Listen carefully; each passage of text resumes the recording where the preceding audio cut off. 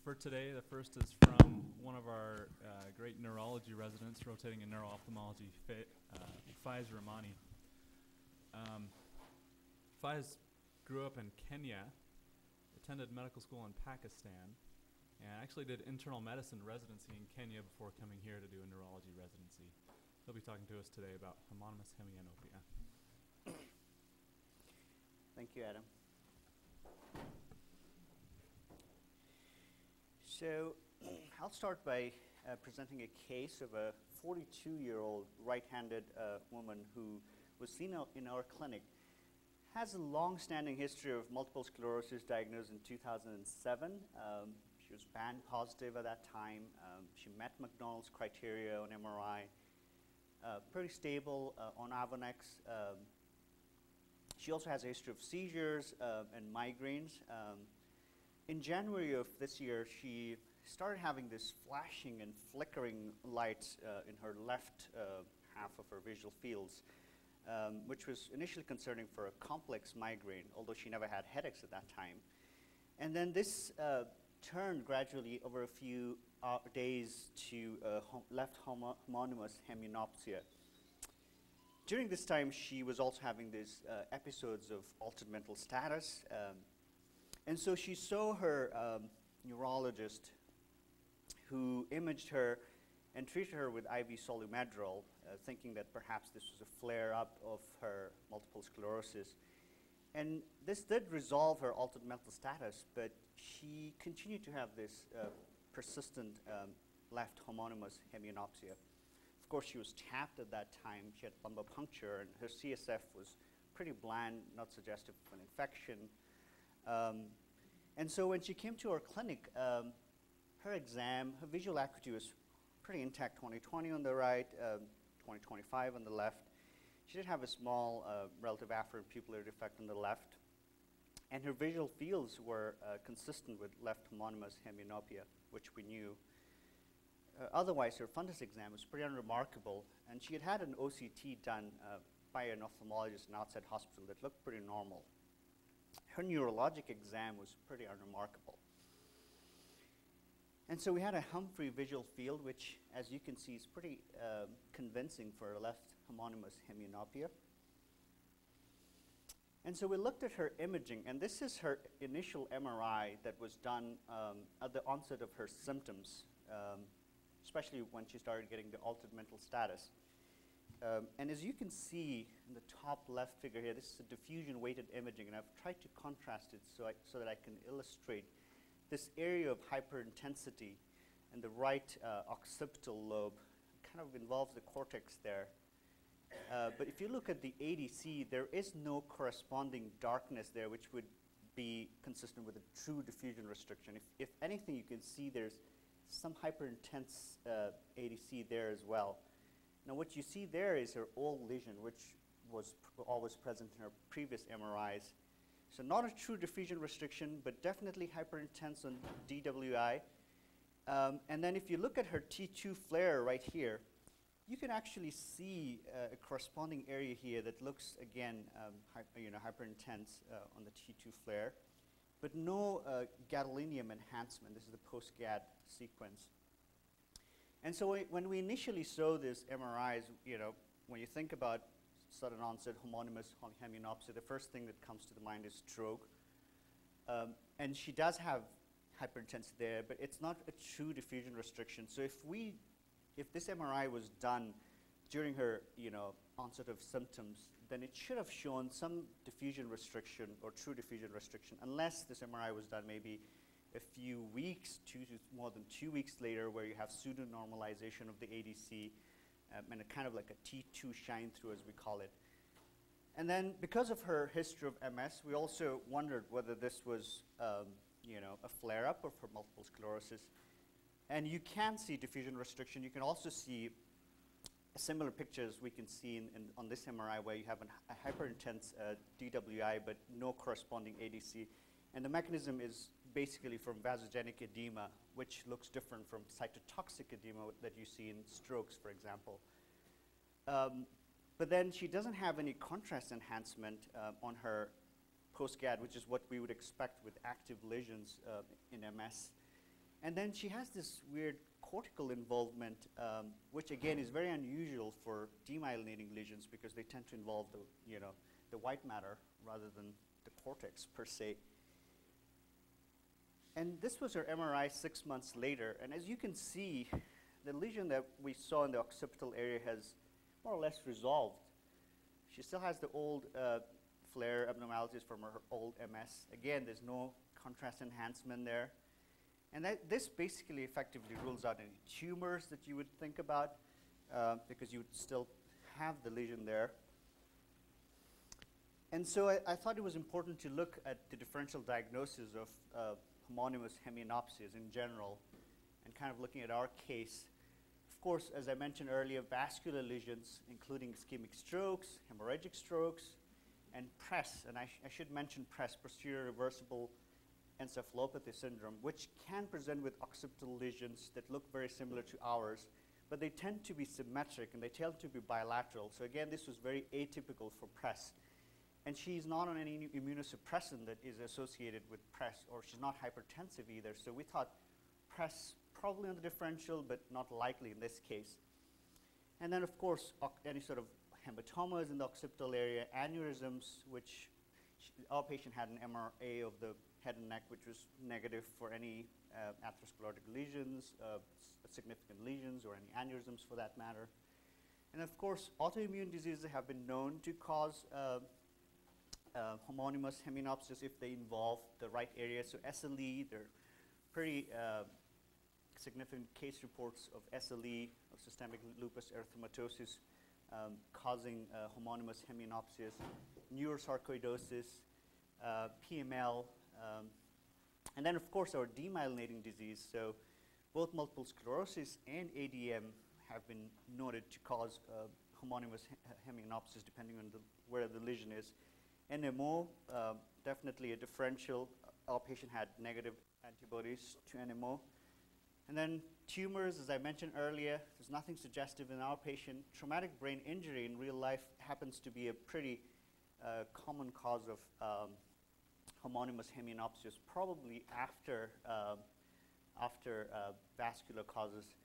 And then any sort of surgery uh, or manipulation of the brain um, involving those areas that would lead to a homonymous hemianopsia. And then, interestingly, seizures can also cause a hem homonymous hemianopsia, but seizures tend to cause more of a transient homonymous hemianopsia. In our patient's hemianopia was more or less permanent. Um, and then complicated migraines, of course, and this patient did have some visual phenomena initially that suggested that this was perhaps a migraine, but then the, the, the defects or the deficits have persisted, which again makes migraines pretty unlikely. Then we have our psychogenic uh, causes of uh, as well. So I thought it was uh, helpful to look at the general principles of homonymous hemianopias. Um, in, in general, they're caused by retrochiasmal lesions, so any lesions um, basically behind the chiasma. Um, and this is because of the crossed nasal and uncrossed uh, temporal uh, fibers, basically. Um, these visual defects tend to respect midline, so they don't cross over to the other side, as opposed to, for example, glaucoma, where you can have deficits on the other side uh, of the midline. And then in general, depending on where the lesions are, the more posterior you get, the more congruous it gets. Uh, so more anterior, more incongruous, in other words, asymmetric, uh, and more posterior, more congruous.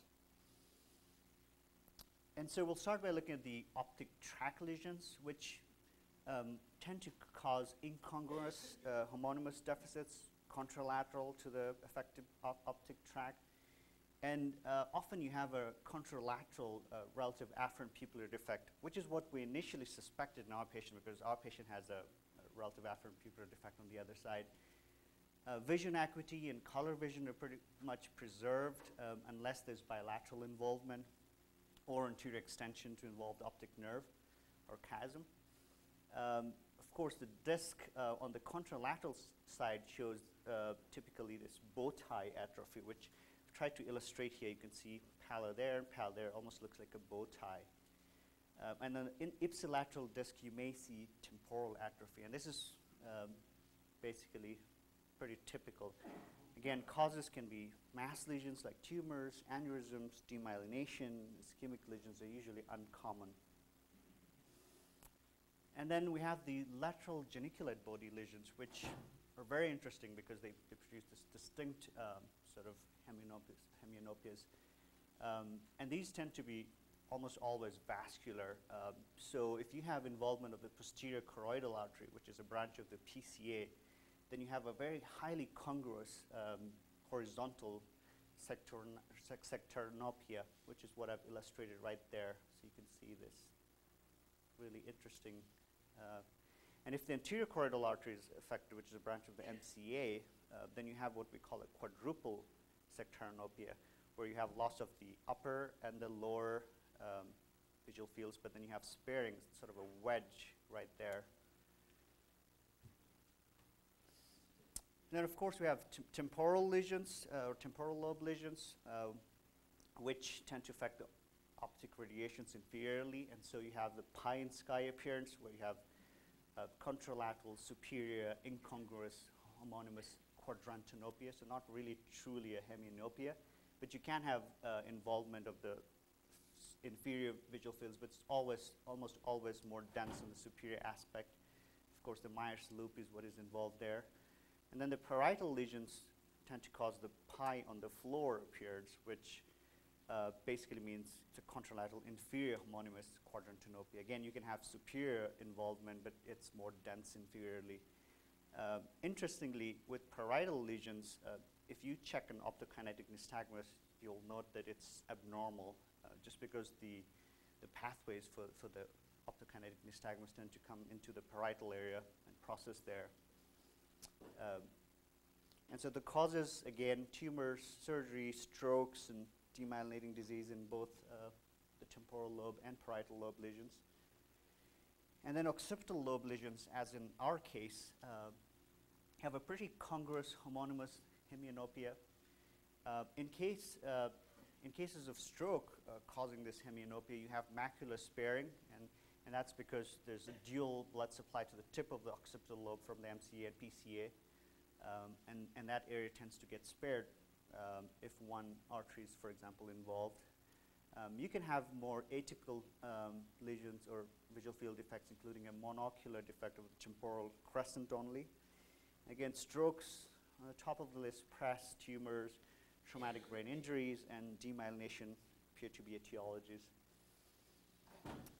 And so, how do we treat these homonymous hemianopias? Um, of course, we can use optical aids. We can use our simple standard Fresnel prisms, which tend to displace the images to the ap- apex. So uh, you can have them as press-on lenses that you can apply to the half of each lens.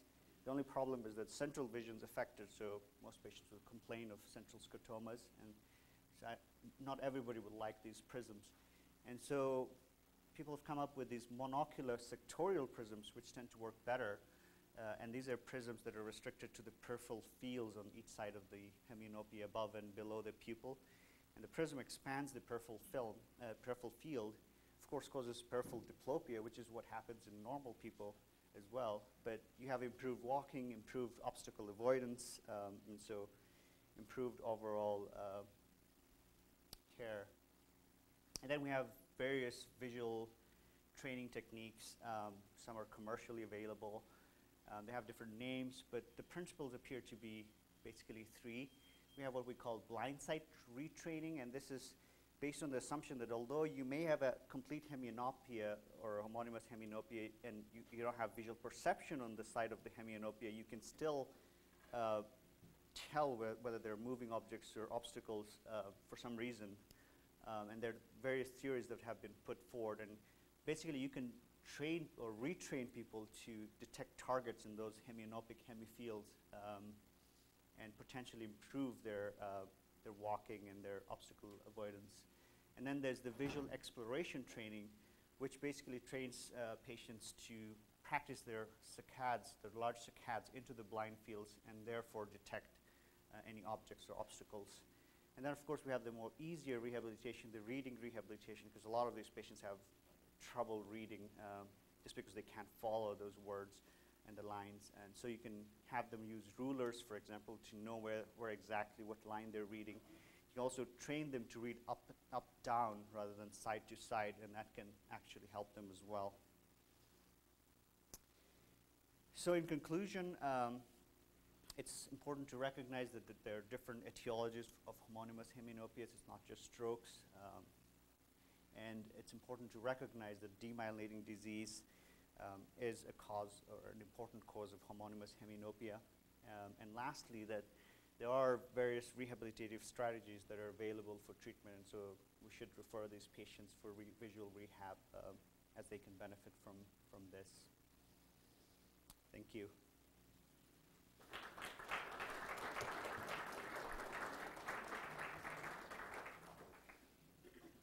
Any question? I have a quick question. So I had a patient with a fairly dense amount of spinous events. So fif- ten years ago, fifteen years ago, he was in his fifties back in New York.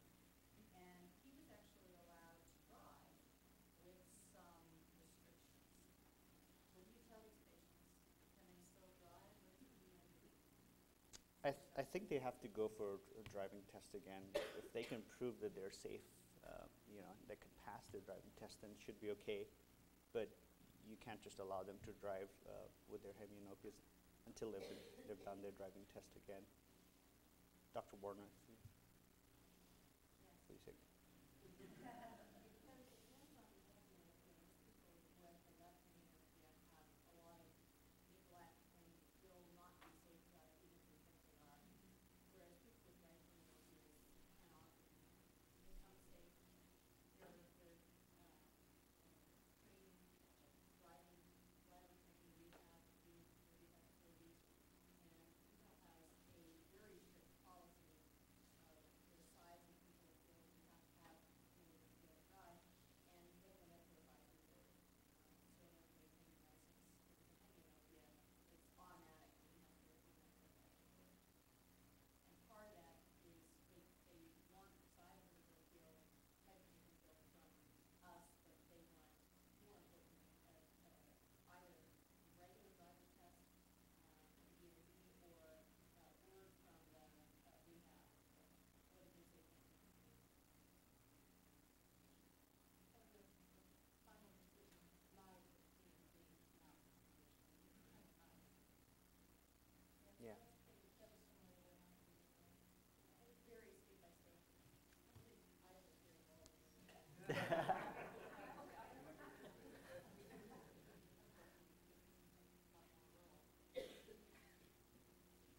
it. Yes, sir. So is this a presumed etiology of MS on this patient?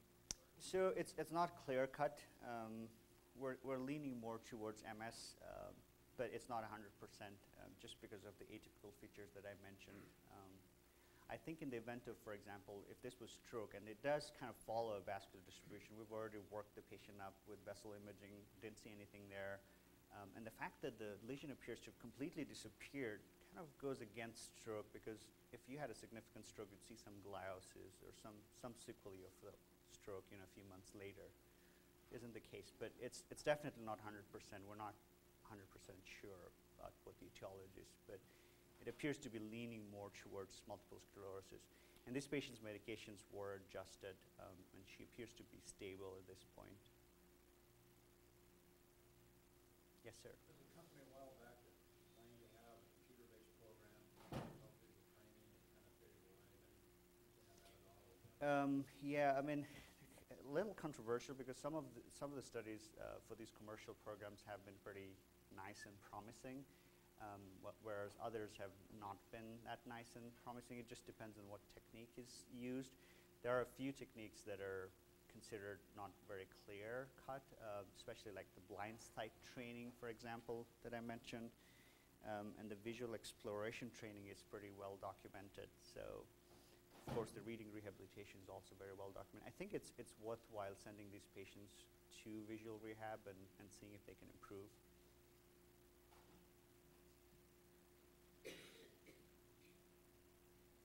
Oh, sorry. I was just back to the driver's license. Is there a physician responsibility to, um, report it, or is it just that you are telling the Yes. patients that they have to go to the DMV? I I think you do have to report, there's that driving form that you have to place that they have to undergo a driving rehab and, patient's not coming with- to you with a driving license thing, I mean, is there, if you discover that the patient has this, yeah. is it something that you just say I- I- yeah. they have to get evaluated, or do we, is there a responsibility for us to report it? I don't think we have to report as far as I understand. Um, I mean, it's the case with, for example, seizures. No, there's no reporting. It's like seizures. I mean, we, you know, we don't allow them to drive for three months, but we don't, you know, call the DMV and say that this patient has had seizures and can't drive. It's based on the patient himself or herself, But you should document. not drive. Yes, yes, An accident the next day. yes, And just another thought too, when it comes to the autism patient, that's right. another similar patient I had, she was a school bus driver. Yeah. Yeah, it's it, typically patients, and, and I've seen this with patients with seizures. They're like, "Oh, I, I'm fine with driving," you know, and, and you have to tell them, "Well, you're fine, but what about the other, you know, pedestrians and drivers? Yeah, they have to be safe too."